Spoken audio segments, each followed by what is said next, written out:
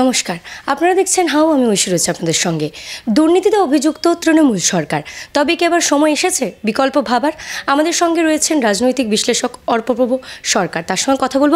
অর্পপ্রভুবাবু এই যে দেখা যাচ্ছে যে একাধিক দুর্নীতি এবং তারই সঙ্গে তৃণমূলের যারা হেভিওয়েট নেতা রয়েছেন, তারা অভিযুক্ত। কি মনে হচ্ছে? কি পরিস্থিতি? এই দুর্নীতি কি ইস্যু হবে লোকসভা নির্বাচনের যখন আসবে আগামী দিনে? এবং তারই সঙ্গে আমরা দেখেছিলাম যে পঞ্চায়েত নির্বাচনে দুর্নীতিকে ইস্যু করতে চেষ্টা করলেও, মরিয়া হলেও বিরোধীরা কিন্তু করতে পারেনি। মমতা বন্দ্যোপাধ্যায়ের জনমুখী প্রকল্পের সামনে কার্যত দুমড়ে মুচড়ে পড়েছিল দুর্নীতি ইস্যু। এবারে কি লোকসভা নির্বাচনের প্রাককালে দুর্নীতি ইস্যু হবে? দেখো, দুর্নীতি চিরকালই বিষয়। বোফোর্সের বিষয়কে কেন্দ্র করে উনিশশো উননব্বই সালে রাজীব গান্ধীর সরকারের পতন হয়েছিল। আমি অত পুরনো ঘটনায় যেতে চাইছি না। দু হাজার তেইশে শেষের দিকে যে পাঁচ রাজ্যের নির্বাচন হলো, তাতে তেলেঙ্গানাতে চন্দ্রশেখর রাওয়ের সরকারের পতন হলো একমাত্র দুর্নীতি এবং স্বজন পোষণের কারণে। চন্দ্রশেখর রাও সামাজিক কর্মসূচি যে সমস্ত প্রকল্প নিয়েছিলেন, তাতে তেলেঙ্গানার মানুষ ষোলো আনার উপর আঠেরো আনা উপকৃত হয়েছিলেন। কিন্তু তা সত্ত্বেও নির্বাচনে তারা কিন্তু চন্দ্রশেখর রাওকে ভোট না দিয়ে কংগ্রেসকে ভোট দিয়েছে। তাই এ রাজ্যের সরকার বলছে, আমি জন্ম থেকে মৃত্যু পর্যন্ত সামাজিক কর্মসূচি গ্রহণ করেছি। তাতেই আমি কেল্লাফতে করব। কেল্লাফতে করেছেন। কিন্তু স্বাধীনতা উত্তর পশ্চিমবঙ্গের সবথেকে বড় বড় সংগঠিত আর্থিক অপরাধগুলো এই জমানায় সংগঠিত হয়েছে। তার একটা অভিঘাত অবশ্যই পড়বে। ধরো চাকরি চুরি। তৃণমূল কংগ্রেসের পরিবারের অনেক শিক্ষিত ছেলে মেয়ে আছে। তাদের চাকরিটাও কিন্তু চুরি হয়েছে। আজকে ক্লাসরুমে একজন টাকা দিয়ে চাকরি পাওয়া লোক পড়াচ্ছে ছেলে মেয়েদের। আর যারা মেধা তালিকায় নাম আছে, তারা এক হাজার দিন পেরিয়ে গেলেও খোলা রাস্তায় ঠান্ডার মধ্যে বসে রয়েছেন। তো এই অপরাধ পশ্চিমবঙ্গের মানুষ ক্ষমা করবে না। আমি নিশ্চিত যে দুর্নীতির অভিঘাত জনমানসে পড়বে এবং পড়েছে এবং সেই জন্যই তো শাসকদের কম্পন বাড়ছে। আমি একবারও মমতা বন্দ্যোপাধ্যায়ের জনমুখী প্রকল্পগুলোর অভিঘাতকে অস্বীকার করছি না। একটা বেনিফিশিয়ারি ক্লাস তৈরি হয়েছে। কিন্তু দুর্নীতির অভিযোগ শাসক দলকে যে মাত্রায় বিদ্ধ করেছে, তাই সামাজিক কর্মসূচি দিয়ে সেই অভিযোগকে ভোঁতা করা যাবে বলে আমার মনে হয় না। হাতের কাছেই তেলেঙ্গানার অভিজ্ঞতাটা আছে। এবারের নির্বাচন যেটা হবে সেটা হচ্ছে লোকসভা নির্বাচন নেতৃত্বের প্রশ্নে গণভোট। নরেন্দ্র মোদীর বিকল্পকে দুর্ভাগ্যের বিষয়, আইএনডিআই এ জোটে শরিকরা এখনও পর্যন্ত কীভাবে আসন সমঝোতা হবে? কেজরিওয়াল আর মমতা বন্দ্যোপাধ্যায় খার্গের নাম বলে দিলেন। খার্গে নিজে সম্মত নয়। কে জোটের আহ্বায়ক হবে তিনি তীব্র বাদানুবাদ। কেজরিওয়ালকে একাধিকবার ইডি তলব করেছে। মদ দুর্নীতিকাণ্ডে তিনি এড়িয়ে যাচ্ছেন। লালু তেজস্বীর বিরুদ্ধে শুরু হচ্ছে আবার নতুন করে তদন্ত। তো এরা সব এক একজন রত্ন। পশু খাদ্যে লালু, মানুষের খাদ্যে বালু। যখন এক বন্ধনীতে আসে, এই ধরনের হচপচ জোট মানুষের বিশ্বাস অর্জন করতে ব্যর্থ হয়। তার মানে এই নয় যে কোয়ালিশন সরকার ভারতবর্ষের প্রগতিতে কোনো অবদান রাখেনি।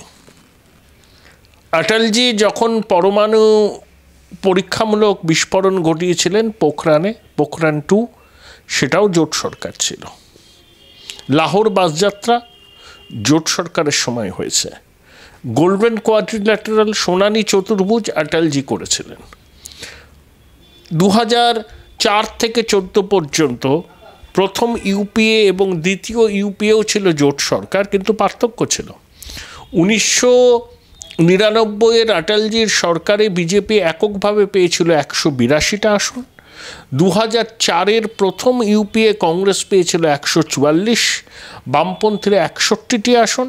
দু হাজার নয়ের দ্বিতীয় ইউপিএতে কংগ্রেস পেয়েছিল দুশো সাতটি আসন। তাহলে জোট সরকার তখনই স্থায়িত্ব পায় যখন একটা অ্যাঙ্কার পলিটিক্যাল পার্টি থাকে, যার প্রাপ্ত আসন সংখ্যা দেড়শোর কাছাকাছি হয়। এই যে আইএনডিআই অ্যালায়েন্স দেখছ, কোনো দলের পক্ষেই একশো ক্রস করা সম্ভব নয়। এবার তোমাকে আমি একটা স্ট্যাটিস্টিক্স বলি। দু হাজার উনিশের লোকসভা নির্বাচনে কংগ্রেসের সঙ্গে বিজেপির সরাসরি লড়াই হয়েছিল একশো বিরানব্বইটা আসনে সারা দেশে। তার মধ্যে বিজেপি পেয়েছিল একশো ছিয়াত্তরটি আসন আর কংগ্রেস পেয়েছিল ষোলোটি আসন।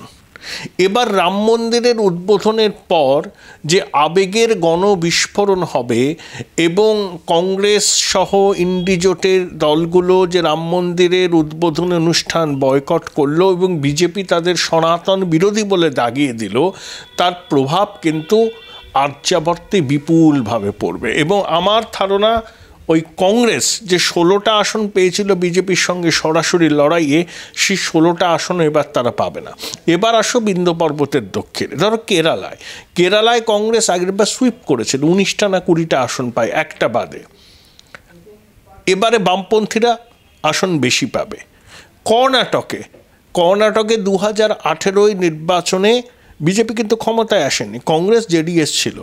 কিন্তু লোকসভায় কি দেখা গেল? যে বিজেপি দুটো বাদে সবকটি আসন পেল।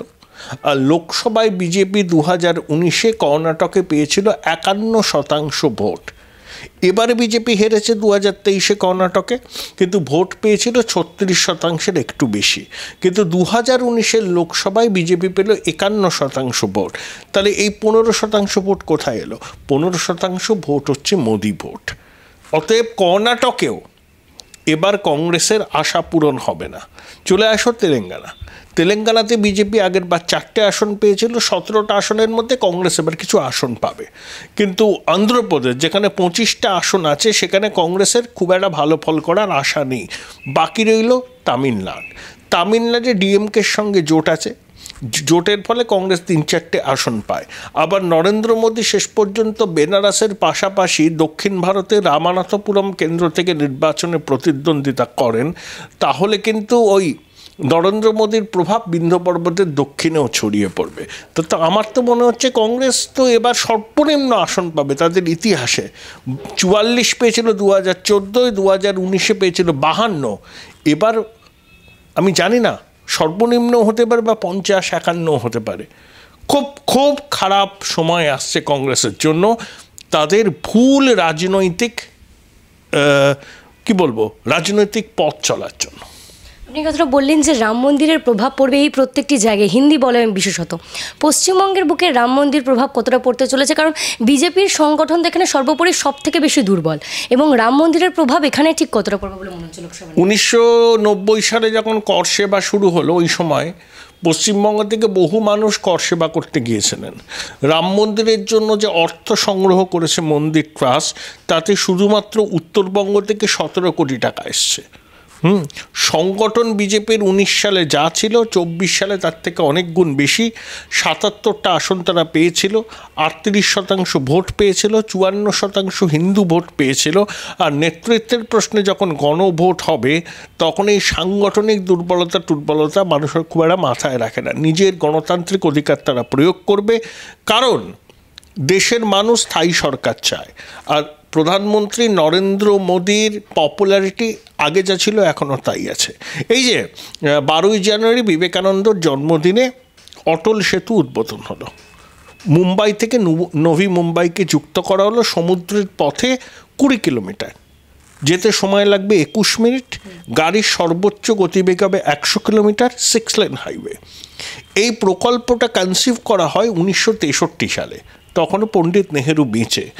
তিপ্পান্ন বছর পরে তার ভিত্তিপ্রস্তর স্থাপন করেছিলেন নরেন্দ্র মোদী দু ষোলো সালের ডিসেম্বর মাসে। আর দু হাজার চব্বিশের বারোই জানুয়ারি সেই অটল সেতুর উদ্বোধন হলো। তাহলে তো ইনফ্রাস্ট্রাকচার ডেভেলপমেন্ট হচ্ছে না।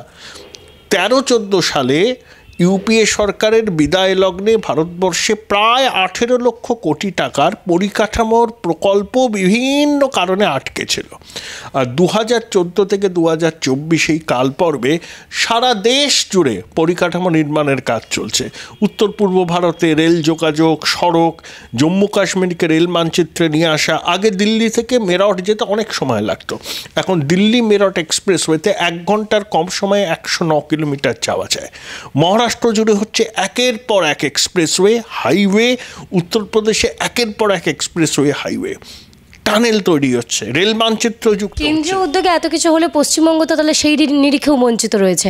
দেখা যাচ্ছে যে এই যে তৃণমূল কংগ্রেস বারংবার অভিযোগ করে যে কেন্দ্র থেকে যে সমস্ত টাকাগুলো আসার কথা সেই টাকা পাঠানো হচ্ছে না এবং আপনি যে সমস্ত বিষয়ের উদাহরণ দিচ্ছেন বিজেপির জোট সরকার যেখানে রয়েছে বা বিজেপির ডাবল ইঞ্জিন সরকার যেখানে রয়েছে সেখানে এই সমস্ত উন্নয়নগুলো মানে দৃশ্যত দেখা যাচ্ছে কিন্তু পশ্চিমবঙ্গে যেহেতু নেই বিজেপি সরকার সে কারণে হচ্ছে না। তাহলে কেন্দ্রীয় উদ্যোগে উন্নয়ন কেন ঘটবে না? চৌত্রিশ নম্বর জাতীয় সড়ক এর সম্প্রসারণের প্রকল্প বহুদিন ধরে আটকে আছে, সরকার জমি দিতে পারছে না। জমি রাজ্য সরকারকে দিতে হবে। খরচ করবে কেন্দ্রীয় সরকার। হলদিয়া রক্সোল এক্সপ্রেসওয়ে, গোরক্ষপুর, শিলিগুড়ি এক্সপ্রেসওয়ে পঞ্চাশ হাজার কোটি টাকার পরিকাঠামোর প্রকল্প কেন্দ্রীয় সরকার এই রাজ্যের জন্য নিয়েছে তারা খরচ করবে। কিন্তু জমিটা তো রাজ্য সরকারকে অধিগ্রহণ করে দিতে হবে। সেটা যদি তারা না পারেন সেখানে পরিকাঠামোর উন্নয়ন তো হবে না। কি করে সম্ভব? জমি শুনলে তো হবে না। এটা বাস্তব। কথায় আচ্ছা কেন্দ্র টাকা দেয় না। হিসেব দিলে টাকা পেয়ে যাবে। টাকাটা নিয়ে কোনো সম- সমস্যা নয়। কত ভুয়ো জব কার্ড আছে? আবাস যোজনায় কত রকম জব কার্ড তো উত্তরপ্রদেশে সব থেকে বেশি পাওয়া গিয়েছে। উত্তরপ্রদেশে পাওয়া গেছে উত্তরপ্রদেশের লোক সংখ্যা কুড়ি কোটি। তার তুলনায় জব কার্ডটা তো টাকা আটকে দেয়নি পশ্চিমবঙ্গের বুকে তো টাকা আটকে বাদ চলে গেছে তাদের নাম। তাদের নাম বাদ চলে গেছে। এটা এক ধরনের সংবাদ মাধ্যমে এই প্রচারটা করছে। প্রথম কথা টাকা কেন আটকেছে? সাতাশ নম্বর ধারায় টাকা আটকেছে। কাজ করলে কাজের মজুরি দিতে হবে। কিন্তু সেই টাকা যদি মিসঅ্যাপ্রোপ্রিয়েশন অফ ফান্ড হয় কেন্দ্রীয় সরকার এনরেগা আইনে সাতাশ নম্বর ধারায় সেই টাকা আটকাতে পারে। এ করুক না, মামলা করুক না। আদালতে গিয়ে মামলা করুক যে কেন্দ্রীয় সরকার টাকা দিচ্ছে না, মামলা কিন্তু করছে না। এবং এই যে দশ বছর ভুয়ো ভুয়ো জব কার্ডগুলো এক কোটির উপর ছিল, সেটা তো বাতিল হলো। ধরো, আধার কার্ডের সঙ্গে রেশন কার্ডের সংযুক্তিকরণ, এই সরকার করতে চায়নি। সমস্ত রাজ্য করেছে।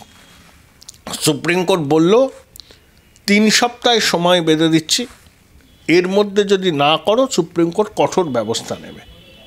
পালে বাঘ পড়েছে এভাবে তখন করল। নিজেরা উদ্যোগ দেয়নি। কত ভুয়ো রেশন কার্ড বাতিল হয়েছে।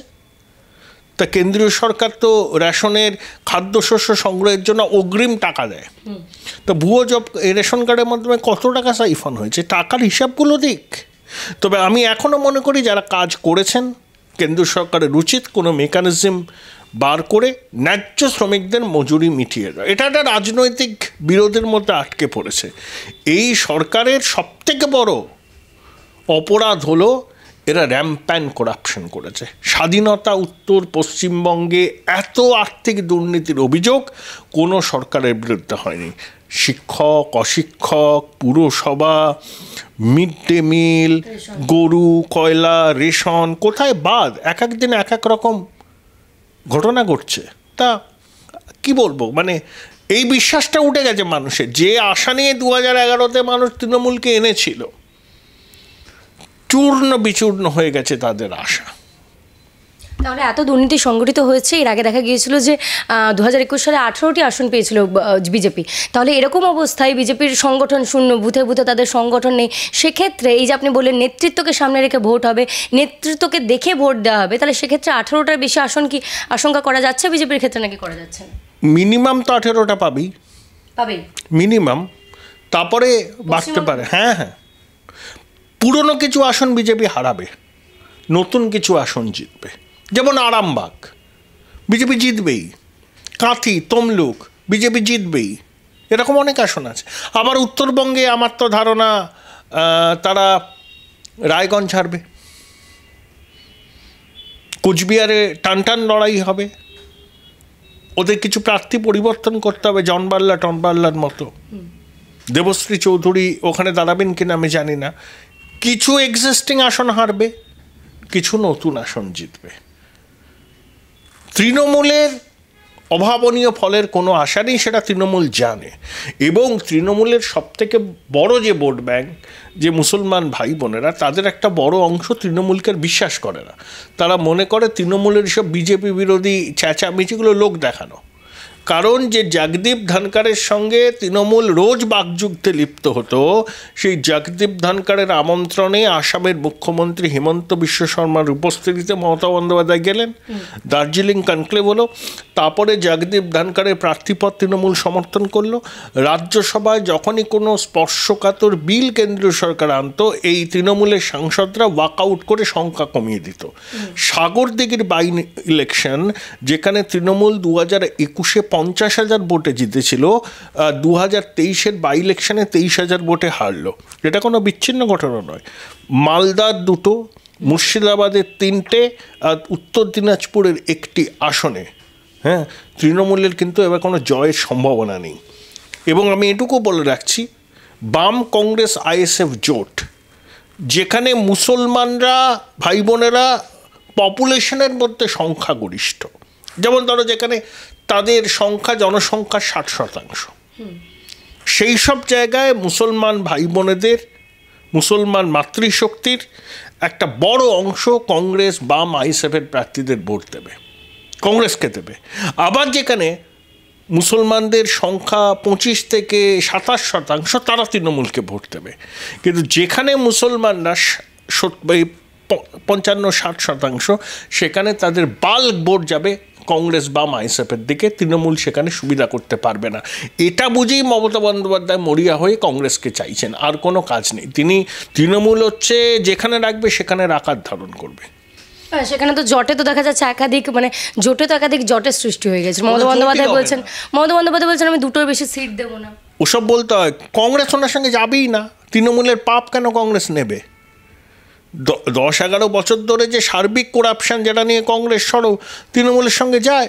তৃণমূলের সঙ্গে কংগ্রেস গেলে কংগ্রেস একটা দুটো যদি আসন পেত শূন্য পাবে আর কংগ্রেসের নিচের তলাটা বিজেপির দিকে চলে যাবে। আর এই যে ভারত জোড়ো যাত্রা হচ্ছে ভারত জোড়ো ন্যায় যাত্রা যা পশ্চিমবঙ্গের বুকের ওপর দিয়ে এবারে যাবে সেই ভারত জোড়ো ন্যায় যাত্রার কতটা প্রভাব পশ্চিমবঙ্গের বুকে পড়বে বলে মনে হচ্ছে? ও কিছু কিছু জায়গায় পড়বে। কংগ্রেসের তো একটা কোর বেস আছে কিছু কিছু জায়গায়। যে অঞ্চলগুলো দিয়ে যাচ্ছে, মালদা, মুর্শিদাবাদ, দিনাজপুর, কংগ্রেসের তো প্রভাব আছে। এবং রাহুল গান্ধীও মমতাকে রাজনৈতিকভাবে বিশ্বাস করেন না, তার সঙ্গে অনেক স্বচ্ছন্দ সীতা নামিয়ে চুরি। তাই যা আন্ডারস্ট্যান্ডিং হবে কংগ্রেস আর লেফটের মধ্যে। এবং নওসাদ সিদ্দিকি যদি ডায়মন্ড হারবারে দাঁড়ান, অভিষেক যেন তিন লক্ষ কুড়ি হাজারের গল্প ভুলে যান। হাড্ডা হাড্ডি লড়াই হবে। এইটুকু আমি বলতে পারি। আর এই যে দেখা যাচ্ছে যে অভিষেক বন্দ্যোপাধ্যায় যে আপনি বললেন যে তিন লক্ষ কুড়ি হাজার ভোটের গল্প ভুলে যেতে বা নসাদ যদি প্রার্থী হয় সেক্ষেত্রে দেখা যাচ্ছে গিয়েছে যে বিরোধী দল নেতা বারংবার সরব হয়েছেন বিষয়টা নিয়ে। এবং অভিষেক বন্দ্যোপাধ্যায় তার লোকসভা কেন্দ্রে শ্রদ্ধার নামক একটি কর্মসূচি শুরু করেছে একটি প্রকল্প শুরু করেছে যেখানে প্রবীণ নাগরিকদেরকে এক হাজার টাকা করে মাসিক ভাতা দেওয়া দিচ্ছেন সেক্ষেত্রে ওটাই বলছি। সরকার দিক। তাহলে তো উনি তো সরকারকেই প্রশ্নচিহ্নের মুখে দাঁড়ালেন। এত সামাজিক কর্মসূচি এত দুয়ারি সরকার। সরকারের উচিত বার্ধক্য ভাতা দিতে। এখন অভিষেক বন্দ্যোপাধ্যায় কি সব নিয়মের ঊর্ধ্বে? তিনি মমতা বন্দ্যোপাধ্যায়ের ভ্রাতস্ফূর্ত ঠিক আছে। তিনি এরা ঘোষণা করে দিলেন আমি দেব। এক লক্ষ লোক নাকি আছে প্রতি মাসে এক কোটি টাকা ওটা এক লক্ষ হবে। এক হাজার টাকা করে দিলে মাসে দশ কোটি। আরে তৃণমূলের অনেক পয়সা আছে জানি। তাহলে বাকি একচল্লিশটা আসন থেকে যদি এরকম দাবি ওটা কীভাবে দেবে? মমতা বন্দ্যোপাধ্যায়কে উনি চ্যালেঞ্জ করছেন, নানাভাবে চ্যালেঞ্জ করছেন। উনি মুখ্যমন্ত্রী হতে চান এবং আইপ্যাক ওনার মাথায় ঢুকিয়েছে যে মমতা বন্দ্যোপাধ্যায়ের পুরনো সাথীরা হচ্ছে ম্যাক্সিমাম কোরাপ্ট দুর্নীতিগ্রস্ত। তুমিই বাংলার ভবিষ্যৎ। আর অভিষেক এটাকে গ্যাস খেয়ে নিয়েছে। ও বৈভবে রাস পালন করতে অভ্যস্ত। মমতা বন্দ্যোপাধ্যায় ছবি ছাড়া পঞ্চায়েত ইলেকশন জিতে দেখাক। তাহলে বুঝব। সংস্কৃত একটা কথা আছে, দৈবায়ত্তং কুলে জন্ম, মদায়ত্ত হি পৌরুষং। মমতা বন্দ্যোপাধ্যায় ভাইপো, ওটা ওর একমাত্র পজিটিভ সাইন একটা ছত্রিশ বছরের ছেলে পশ্চিমবঙ্গের রাজনীতিতে এত বৈভব মানুষ দেখেনি। প্রফুল্ল সেন শেষ জীবনে না খেতে পেয়ে মরে গেছিলেন। যাকে সিপিএম বলেছিল স্টিপেন হাউসের মালিক। অতুল্য ঘোষ শেষ জীবনে বিধান শিশুদ্দানে থাকতেন। তার স্বাধীনতা আন্দোলন করতে গিয়ে তার চোখ নষ্ট গেছে। তাকে সিপিএম কানা অতুল্য বলতো। রাজনৈতিক বিবাদ, বিসম্বাদ হয়েছে।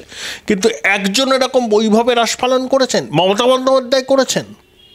কোনো দিন ছাত্র আন্দোলন করেননি কোনো দিন বিরোধী রাজনীতির একটা পরিসরেও তাকে দেখা যাননি। তিনি দু হাজার এগারোয় লিফটে করে চলে এলেন। এসে যুবা করলেন, সাংসদ হলেন, এখন বলছেন যে আমি সব দেখব। পশ্চিমবঙ্গের মানুষ বোঝে। আসলে তেজস্বী উপমুখ্যমন্ত্রী হয়েছেন তারপরে অখিলেশ মুখ্যমন্ত্রী হয়ে গিয়েছিলেন স্টালিনের ছেলেও গুরুত্বপূর্ণ দায়িত্বে। তো অভিষেকও চাইছেন মুখ্যমন্ত্রী হতে। আইপ্যাক উস্কাচ্ছে আর অভিষেক একটা গ্রুপ তৈরি করেছে, সব রুটলেস ওয়ার্ডার এতই যদি মমতা বন্দ্যোপাধ্যায়ের সঙ্গে মতের অমিল হয় দল করুন, করে জিতে আসুন। সেই মূরত্ব নেই। তৃণমূলের যাই হোক, মমতা বন্দ্যোপাধ্যায় ছবিটা তাদের লাগবে। অভিষেক বন্দ্যোপাধ্যায় ছবি সামনে রেখে নির্বাচনে জেতা যাবে না। এই বাস্তবটা অভিষেক যত তাড়াতাড়ি বোঝেন, ততই মঙ্গল। দেখা গেলো যে বাম রাজনীতি যারা মুখ সর্বস্ব রাজনীতি করতে কখনোই পছন্দ করেন না তাদের এত বড় একটি বাম ব্রিগেড হলো এবং সেখানে মুখ হিসেবে মীনাক্ষী মুখোপাধ্যায়ের ছবি সব জায়গায় দেখা গেল। এবং জনগণের মধ্যে একটা রব উঠেছে যে মীনাক্ষী মুখোপাধ্যায়কে সেই বিরোধী দলনেত্রীর মুখ মানে অর্থাৎ মমতা বন্দ্যোপাধ্যায়কে যেভাবে বিরোধী দলনেত্রী দেখেছে সেই রকম মীনাক্ষী মুখোপাধ্যায়কে দেখা যাচ্ছে। মমতা আটের দশকের মমতা বন্দ্যোপাধ্যায় মীনাক্ষী মুখোপাধ্যায়ের মধ্যে অনেক মিল আছে। কুলটির ব্রাহ্ম দরিদ্র ব্রাহ্মণ পরিবারের এই মেয়েটির পোটেনশিয়াল আছে, কিন্তু সিপিএমের ওই বুড়োগুলো মীনাক্ষীকে কতটা স্পেস দেবে? ঈর্ষায় জ্বলছে। তাও বিমানবাবু বললেন যে ক্যাপ্টেন মীনাক্ষী, বামেরা তো মুখকে গোড়া বিশ্বাস করে না? আরে, বামপন্থী আন্দোলন পশ্চিমবঙ্গে বিকশিত হয়েছে, তাতে জ্যোতিবাবুর কোনো ভূমিকা নেই? প্রমোদ দাসগুপ্তর কোনো ভূমিকা নেই? শুধু পার্টি পার্টি তো আছেই অর্গানাইজেশন সবসময় বড় কথা, কিন্তু ব্যক্তির ভূমিকাকে অস্বীকার করা যায় না। তো মীনাক্ষীর ক্ষেত্রেও তাই তবে মীনাক্ষীকে মাইলস টু গো রবার্ট ফ্রস্টের একটা কবিতা ছিল woods are lovely dark and deep but I have promises to keep and miles to go before I sleep and miles to go before I sleep অনেক দূর এগোতে হবে মীনাক্ষীকে। আর ওই সাবেকি কেতাবি বামপন্থার রাস্তা থেকে হটতে হবে। মীনাক্ষী সেদিনকের বক্তব্যে আমার একটা জিনিসই ভালো লেগেছে। শিশুর সারল্য নিয়ে বলেছে, আমি ভুলে গেছি। নজরুলের বিদ্রোহী কবিতা ইনস্ট্যান্ট আবৃত্তি করতে করতে। ভালো মেয়ে, লড়াকু মেয়ে, কিন্তু পথ চলা অনেক বাকি। আর কেতাবি বামপন্থা দিয়ে আর হবে না। হ্যাঁ পশ্চিমবঙ্গ বামেদের থেকে মুখ পুড়িয়ে নিয়েছে। চৌত্রিশ বছরের বাম শাসন মানুষ দেখেছে, তারা কি দিতে পারে, কি পারে না, সে সম্পর্কে মানুষ অবহিত। যে রাজনৈতিক দলকে পশ্চিমবঙ্গের মানুষ দেখেনি, যারা আনটাচড অ্যান্ড আনকিস ভার্জিন ভারতীয় জনতা পার্টি তারা সতেরোটা রাজ্যে ক্ষমতায় কেন্দ্রশাসিত অঞ্চলে তাদেরকে দেখেনি তারা তো তৃণমূল থেকে নিয়ে গিয়ে সব বিজেপিতে ঢুকে গিয়েছেন। এরকম ভাবে বলাতে হয় যে তৃণমূলের উচ্ছিষ্টরা রয়েছে বিজেপিতে সেই কারণে বিজেপি আসামের মুখ্যমন্ত্রী যদি হতে পারেন। যাকে তো বলেছিলেন বিজেপিরা সব থেকে বড় দুর্নীতিগ্রস্ত মানুষ। হেমন্ত বিশ্ব শর্মা যদি হতে পারেন। তাহলে সেক্ষেত্রে ইন্টিগ্রিটি এই যে বলছেন এথিক্স ইন্টিগ্রিটি এই বিষয়গুলো তো তাহলে তো মানুষ ভরসা করতে পারবে না। বিজেপি তো যেগুলো এসছিল তৃণমূল থেকে অর্ধেক চলে গেছে। শুভেন্দু অধিকারী আছেন। শুভেন্দু অধিকারীকে নারদা নিয়ে বলছে। তো নারদারা তো ববি হাকিমকেও টাকা নিতে দেখা গেছে, স্যান্ডো গেঞ্জি পরে। সৌগত রায়কে দেখা গেছে, কাকলি কস্তুরকে দেখা গেছে। তৃণমূল তো তাদের কথা বলছে না। ববি হাকিম ঠিক কথাটা বলেছিলেন, শুভেন্দুর কথার সুর মিলিয়ে যে অভিষেক যখন রাজনীতির ময়দানে অবতীর্ণ হলেন, তার রাজনৈতিক উত্থানের অন্তরায় কারা হতে পারেন, তার একটা তালিকা তিনি তৈরি করেছিলেন। তাদেরকে মানে কালির দাগ লাগাতে কেডি সিংয়ের সহায়তায় ম্যাথু স্যামুয়েলকে দিয়ে কাণ্ডটা করিয়েছিলেন এখন তৃণমূলের লোকজন বলুক আ শুভেন্দুকে দেখা গেছে কোনো অস্বীকার করছি না সবাই জানে। ফিরাজ হাকিমকেও দেখা গেছে। বন্দ্যোপাধ্যায় কিন্তু এই বিষয়ে বলেন। যাদেরকে দেখা গিয়েছে সবাইকে ধরা হোক। উনি বলেন আগে প্রথম ঘর থেকে নিজের কাজটা করুন না শুভেন্দুর বিরুদ্ধে এত কথা না বলে আদালতে যাক। যে ওকে কেন স্পেয়ার করা হচ্ছে? আসলে শুভেন্দু তৃণমূলের ইনসান হাউস জানে তো? তাই শুভেন্দুর উপর তাদের ওদের এত রাগ। হুম? ও একশোটা তালিকা দিয়েছিল নেতা মন্ত্রীদের যারা করাপশনে সেই তালিকা নাকি পাঠিয়েও ছিল। সে তাহলে তালিকায় কি তাপস রায়ও পড়েন? তার বাড়িতে ইডি গেল? তাপস রায়ের ব্যাপারটা আমার কাছে খুব অবাকি অবাকই। আমি তাপসদাকে বহুদিন ধরে চিনি। লক্ষ্মীদের বিরুদ্ধে লড়াই করে মধ্য কলকাতায় তাপসদা একসময় যথেষ্ট সংগ্রামী একটা ইমেজ তৈরি করেছিলেন, সোমেনবাবুর হাত ধরে রাজনীতি সঙ্গী ছিলেন। তাপস রায় কি অপর্ণা মৌলিকের কাছ থেকে কিছু তথ্য তথ্য পেয়েছে? আমার মনে হয় যে তাপস রায়কে ইনভেস্টিগেশন করেছে ঠিক আছে। তাপস রায় এর মধ্যে থাকবেন বলে আমার অন্তত মনে হয় না। অদিত চৌধুরী ঠিক বলেছেন যে তাপস রায় চোর ডাকাত বলে তিনি মনে করেন না তবে সঙ্গ দোষের কিছু প্রভাব তো মানুষের মধ্যে পড়ে। তৃণমূল বিজেপির গটা যারা গটাপ কি? সিপিএম আর কংগ্রেসের গটাপ আছে চিরকালই ছিল। সিপিএম শূন্য থেকে মহাশূন্যে যাবে ডন্ট টরি লোকসভায় খাতা খুলতে পারবে না। যা পার্সেন্টেজ অফ ভোট পেয়েছিল উনিশ পিস তাই পাবে। তাহলে ব্রিগেডে এত দশ লক্ষ লোক হলো। আমিও ব্রিগেড করতে পারি আমার সংগঠন থাকলে। পাঁচ লাখ লোক নিয়ে যাব বাড়ির থেকে তিনটে করে ভোট হলে পনেরো লক্ষ। আর পশ্চিমবঙ্গে ভোটার কটা? সিপিএম ওই ব্রিগেডের সত্তর শতাংশ লোক সিপিএমকে ভোট দেবে না। কেন দেবে? কিসের জন্য দেবে? জিতলে পরে গিয়ে কেন্দ্র বিরোধী জেহাদ করবে অপোজিশনে বসে। সিপিএম আগে বলুক যদি ইন্ডিজোটের সরকার আসে যদি আসে তাহলে সেই সরকারের তারা শরিক হবে। ওসব বললে হবে না। সিপিএমকে ভোট দেওয়া মানে ভোট নষ্ট করা। দেশের সরকার গঠনের সময় সিপিএমের সমর্থকরাও সেটা জানেন। শূন্য থেকে মহাশূন্যে যাবে লোকসভায়। কেরল একটু ভালো ফল করবে, কিন্তু পশ্চিমবঙ্গে ত্রিপুরায় খাতা খুলতে পারবে না। আর নীতিশ কুমার আসছেন, এই যে জোটের এত জট চলছে, সেই অবস্থায় নীতিশ কুমার আসছেন। জ্যোতি বসুর জন্মদিন উপলক্ষে বামেদের ডাকে আসছেন, মমতা বন্দ্যোপাধ্যায় ডাকে আসছেন। না সমীকরণ প্রতিম বামপন্থী নেতা জ্যোতি বসুর সঙ্গে এই সমাজবাদী পার্টি, ব্লকের অনেক নেতার সুসম্পর্ক ছিল। দু হাজার চব্বিশের একুশে জানুয়ারি প্রবাদ প্রতিম সমাজবাদী নেতা, প্রাক্তন রেলমন্ত্রী এবং প্রাক্তন অর্থমন্ত্রী মধু দণ্ডবতের জন্ম শতবর্ষ এই নীতিশ কুমার তো সমাজবাদী মানুষ। এরাই তো উনিশশো ছিয়ানব্বই সালে জ্যোতিবাবুকে প্রধানমন্ত্রী হতে বলেছিল। আর বামেদের সঙ্গে নীতিশ কুমারের সখ্য আছে। বামেরা তো ওই সরকারের শরিক বিহারে। জ্যোতিবাবুর আহ, জন্ম কি একটা কমিটি তো আমন্ত্রণ জানিয়েছে। সিপিএম থাকতে পারে। নীতিশ অনেক কমফোর্টেবল ফিল করেন। মমতার সঙ্গে। মমতা বন্দ্যোপাধ্যায়, নীতিশ যখন রেলমন্ত্রী হলেন, পূর্ব রেলে সদর দপ্তর ফেয়ারলি প্লেস থেকে হাজিপুরে নিয়ে গেছিলেন। তখন মমতা বন্দ্যোপাধ্যায় বিরাট আন্দোলন করেছিলেন। তো নীতিশের সঙ্গে তার সম্পর্ক মোটেই মধুর নয়। তো পাশাপাশি বসে থাকলে কি সম্পর্ক মধুর হয়? এটাই হচ্ছে বিষয়। তাই মমতাও নীতিশকে পছন্দ করেন না, নীতিশও মমতাকে রাজনৈতিকভাবে বিশ্বাস করেন না। বামেরা সবথেকে বড় ভুল করেছে ইন্ডিজোটে তৃণমূলের সঙ্গে যাওয়ায়। বামেদের বিজেপি বিরোধিতার জন্য কারও সার্টিফিকেট লাগবে না। দেশের মানুষ জানে মতাদর্শগতভাবে তারা বিজেপি বিরোধী। ওখানে সীতারাম ইয়েচুরি মমতার এক ফ্রেমে বন্দি। বামেদের বলা উচিত ছিল যে আমরা মমতা থাকলে কোনো জোটে সামিল হব না।